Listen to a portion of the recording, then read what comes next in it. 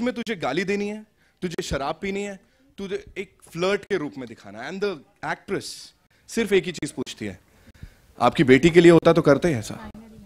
And the director says yes उसके बाद हमें मिली Tanu weds Manu. A big round of applause ladies and gentleman that was a super duper hit movie और अब उसी का sequel लेकर ये टीम एक नए अवतार में वापस आ गई है। और इसी के मुतल्लिक बात करने के लिए सबसे पहले हीरो को बुलाना चाहूँगा भाई, हमारे पिक्चर के। Give it up for R Madhavan thank you thank you स्वागत है आपका। बहुत हीरो साहब डॉक्टर साहब मुझे ये बताएँ ये वैसे तो उलझने थोड़ी बहुत दिखा दी ऐसे तन्नू और मन्नू के बीच लेकिन रियल लाइफ में ऐसा कुछ फेस करने को मिला कभी? अरे बहुत कुछ। देखिए जब हम रोमांस की बात करते हैं हनीमून की बात करते हैं या शादी की बात करते हैं आमतौर पे लोग क्या कहते हैं कि हम हनीमून के लिए जाएँगे शिमला या लंदन या पेरिस कोई गाजा स्ट्रिप जाता है? बात कर रहा हाँ। ये तो ये मेरी बीवी है जिनको अपनी हनीमून के लिए मुझे गाजा स्ट्रिप ले जाना ज़रूरी पड़ा। मतलब एक गुल तो यहाँ गांजे में पड़ी। एक बिता ऊपर नीचे चलाया था तो मेरा कहने का मतलब ये है कि हनीमून पे तो नहीं जा सकते ना ऐसी जगह पे। तो ये मेरे लिए बड़ा धक्का था। अ, प्यार मोहब्बत तो एक जगह होती है लेकिन अब जानलेवा तो नहीं हो सकती ना। बिल्कुल बिल्कुल सही बात है। तो एक काम करते हैं कितनी जानलेवा हुई या कितनी नहीं हुई जान लेते हैं भाई। Please give it up for miss Kangana Ranaut gentleman स्वागत welcome Kangana how difficult was it और हाउ इजी वॉज़ इट यहाँ पे मतलब आप जैसी एक और देखने को मिल रही है हमें और मतलब भाई साहब की तो चली पड़ी है एक के साथ एक फ्री नहीं first of all good afternoon everyone and thank you for coming and this is a very special day for all of all of us. और जैसा कि आपने कहा इस बार दो हैं। तो मेरे लिए बहुत ही स्पेशल फ़िल्म है क्योंकि uh, मेरा डबल रोल है फ़िल्म में। और uh, जो बहुत ही जो किरदार हैं, बहुत ही बहुत ही अलग हैं, क्योंकि अक्सर हम देखते हैं कि डबल रोल में एक थोड़ी सीधी सादी होती है, दूसरी शैतान होती है। यहाँ पे एक शैतान है, दूसरी सवा शैतान है। तो दोनों ही एक से बढ़कर एक हैं, और ये मेरे लिए, जैसा कि मैंने कहा, बहुत ही एक स्पेशल फ़िल्म है।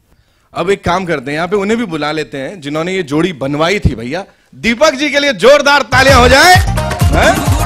क्या बात है? आए, शुक्रिया शुक्रिया शुक्रिया शुक्रिया। भाई साहब ये बारूदी जोड़ी मतलब कहाँ से कैसे आइडिया है कि इन्हीं दोनों को मिलवाना है? बस ऐसे ही भाई हमारे भाई हैं लंदन से आए हैं शादी करनी है एक देसी लड़की चाहिए विदेशियों से इनका मन ही नहीं बहला तो हमने कहा एक ढूंढते अपनी भाभी। यहाँ यहाँ पे बहुत सारे हैं जो कह रहे हैं हमें भी दीपक भैया से सेटिंग करवानी है पप्पी भैया जी जी बिल्कुल बिल्कुल। सबसे मिलने। हाँ। जी हाँ। तो ये हाँ। पहले पिक्चर देख लें। फिर तय करें कि ये अच्छी शादी है या मज़ेदार या फिर पटाखे वाले। अच्छा। आपके पास उतना हिम्मत है कि ये शादी पे आप झेल पाए। वो तो आई एम श्योर सब तैयार है? अरे हाँ बोल दो भाई तैयार है हाँ? है भाई हाँ। ऐसे कह रहे हैं जैसे अभी शादी करवा देंगे आप लोगों की तैयार हैं सब एकदम से। हाँ। जी दीपक जी। हाँ तो भाई मैं तो ये कह रहा हूँ कि शादी चलती है तो मुझे बोलते हैं नहीं चलती तो मुझे ब्लेम करते हैं। मैं इनसे कह रहा हूँ भाई मुझे ब्लेम मत करो मैं आपको बताता हूँ हुआ क्या था।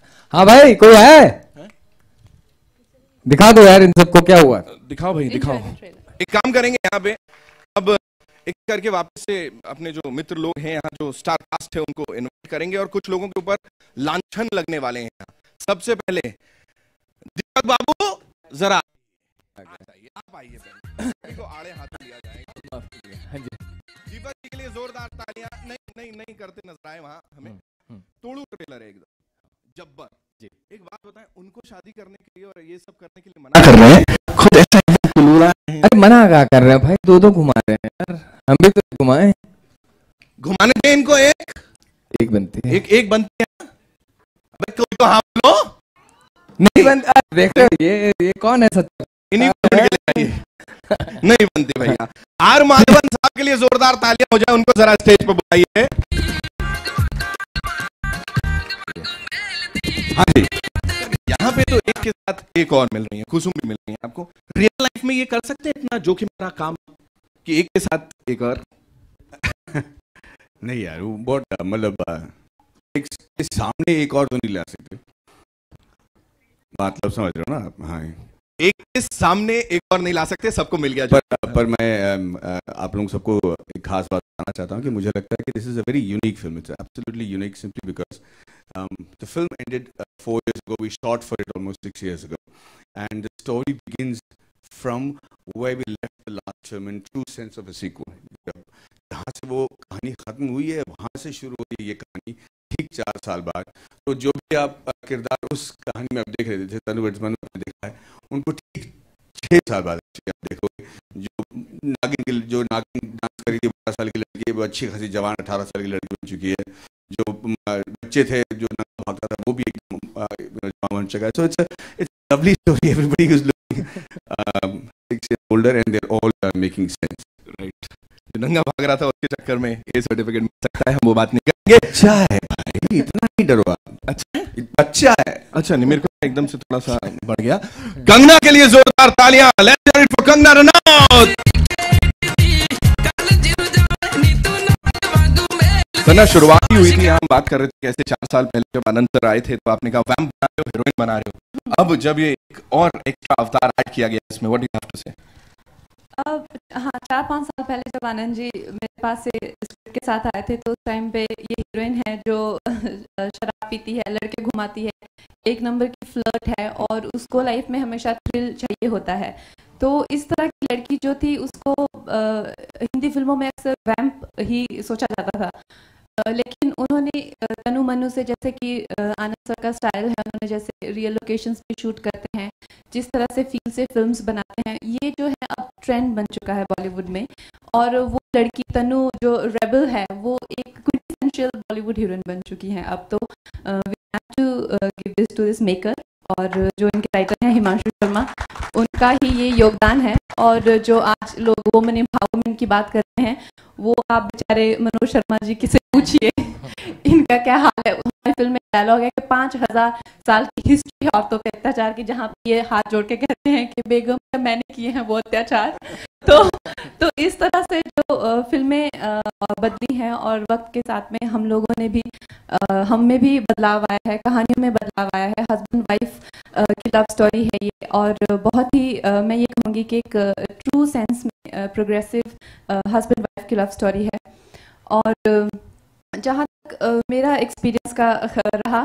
अब हमारी फ़िल्म की प्रोटैगनिस्ट हैं तनुजा त्रिवेदी और ज़ाहिर सी बात है मेरे लिए, उनके लिए एक स्पेशल फीलिंग होगी। हर मैं जो भी स्केच खत्म करूँ, दत्तो हीरो बन जाए, वहाँ पे डायरेक्टर मेरा कहे अरे Datto is the hero of my film तो मेरी ये हमेशा ये हमेशा कश्मकश रही है कि दत्तो को इतना प्यार मिला है और इतना ज़्यादा दत्तो की क्रू में फ़ैन फॉलोइंग इतनी हो गई है, कोई उसके दांत करता है कोई उसका विग रखना चाहता है कोई कुछ।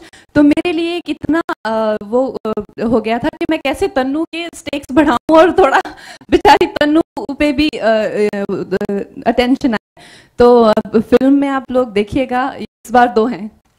इस बार दो है डबल धमाका होने वाला है। यहाँ पे अब जिनसे राय मशवरे के लिए ऊपर इनवाइट करना चाहूँगा वो है director of the movie and captain of the ship Anand Rai साहब।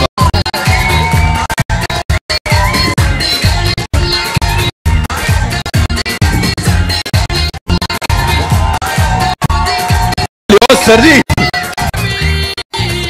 कितना पूछना चाहूँगा सर जब पहली फ़िल्म आई थी उस वक्त था दिमाग में इसका सीक्वल लेके आऊँगा जब इतनी बड़ी सुपर डुपर हिट हो गई उसके बाद ये आइडिया आया।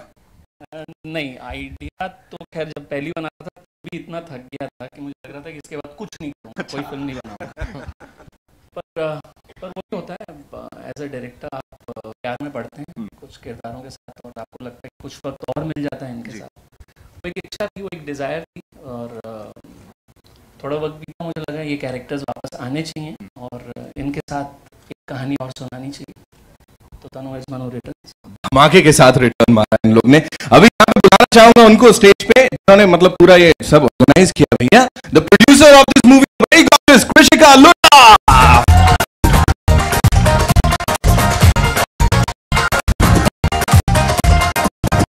Welcome जब से ये फ़र्स्ट लुक का ही चीज़ दिमाग में चल रही है, तीसरी कुर्सी लगी है। कुछ लोगों से मैं बात कर रहा था मित्र मंडली से और उनका कहना है कि मैं इवेंट वाले को पकड़ता हूँ कि भाई अब लोग कह रहे हैं हमारी शादियों में भी तीसरी कुर्सी होनी ही चाहिए। You are to be blamed first of all we are so nervous and excited अब कुर्सी की पड़ी है। Okay anyways all the films what we make are so the characters are so fictional काल्पनिक है। So so don't blame for this also for भैया, आगे की ज़िम्मेदारी उसकी है जो ऐसा सोचता है, तीसरी कुर्सी लगवानी है या नहीं? जोरदार तालियाँ come on ladies and gentleman है ना यहाँ पे writer of this movie Himanshu Sharma ji के लिए जोरदार तालियाँ हो जाए भैया। रॉक स्टार हिमांशु एक सवाल आपके लिए है। मुझे पता लगा है, जिमी भाई ने मतलब राजा वाले अवतार में आके कनपटी पे बंदूक रखी थी। देख भाई, इस बार शादी नहीं